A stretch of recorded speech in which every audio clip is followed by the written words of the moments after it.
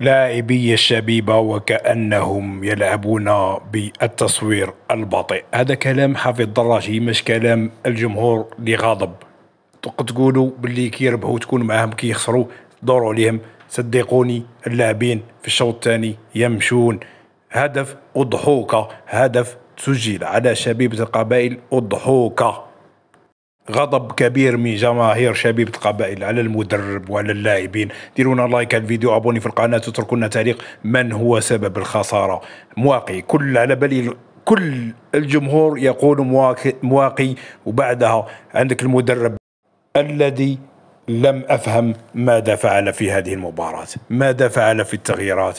كيف قاعد يخمم؟ والله صدقوني كلام كبير من كارثة. رانا خسرنا أمام أضعف نسخة تاع فيتا كلوب. والله فريق فيتا كلوب كلوب بهذا المستوى ضعيف جدا جدا جدا جدا. ليس هذاك فيتا كلوب تاع بكري اللي كان مرعب وكان آه، يحب لك به تربحوا هذا الفريق تاع فيتا كلوب نربحوه facilement نربحوه بأريحية نربحوه ثلاث كرات على بعضها ما باس ما كانش يعني ثلاث تمريرات على بعضها ما كانش. والله صدق. تفرج الماتش مع حافظ دراجي قال كلام كثير. قال لك بعدها اللاعبين. والله كلام كثير هضروا قال لك بعدها لاعبين بالتصريحات تاعهم يقول لك رانا سخانة وكذا. والله كلام ورسالة مشفرة. يعني ما كان له ديروا لنا الأسباب. الضعف ضعفكم. الضعف ضعف المدرب. الضعف ضعف التسيير والتخطيط واللاعبين اللي جبتوهم هذا كله يلعب دور في مستقبل شبيبة القبائل كارثة. الشبيبة لازم تنقذ والشبيبة لازم لها إنقاذ. معجزة معجزة. أنا بقى تلعب بالمعجزه شبيبه القبائل صدقوني اللاعبين ثلاث تمريرات تمريرتين مش ثلاث تمريرات على بعضها ما كانش والله عيب ما يحدث في شبيبة القبائل دوك تكون قلت لنا مع الوداد وكذا. مع الوداد لعبوا بقلبهم. قلنا باللي كاين بعض اللاعبين كانوا في المستوى وما شكرناش الفريق كله. حنا على بالنا باللي فريق ناقص واللاعبين ناقصين تاع شبيبه القبائل فازوا بالقلب مع الوداد.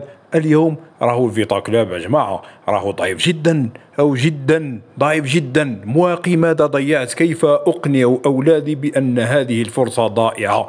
كيف أقنع؟ هذه هذه فرصة ضائعة تاع مواقي. بلا الفرص الأخرى الضائعة. ربما لو سجلنا وحدة فيهم ما يقدروش يرجعوا فيتا كلوب فيتا كلوب فريق ضعيف نقدروا نربحوهم ونقدروا نفوزوا عليهم بهذا. ولو تسجل هدف من الأهداف هذيك كانت النتيجة راح تكون لصالحنا هكذا.